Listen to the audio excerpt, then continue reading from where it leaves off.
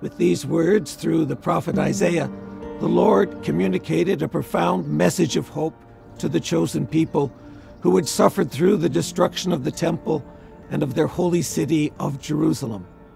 Like them, we have endured a great upheaval in our life due to the pandemic that has engulfed us. We are mourning members of our families and community whom we have lost to this insidious virus. And we are on the side of those who are suffering, hoping to alleviate their isolation. We know that our former way of life will probably not reemerge just as it was before.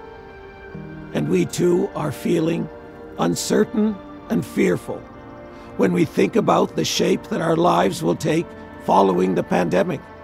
At this moment in history, the prophet Isaiah is once again announces that our Lord is about to do something new.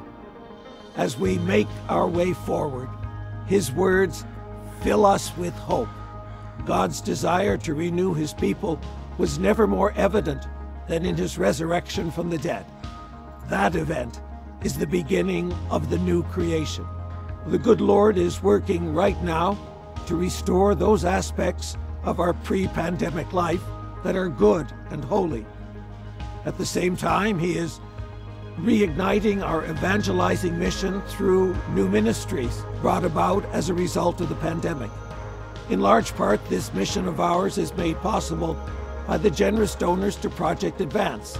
Our annual appeal, which unites each of us in supporting the church, has a long legacy in meeting the urgent needs of the John Paul II Pastoral Center and of our parish communities.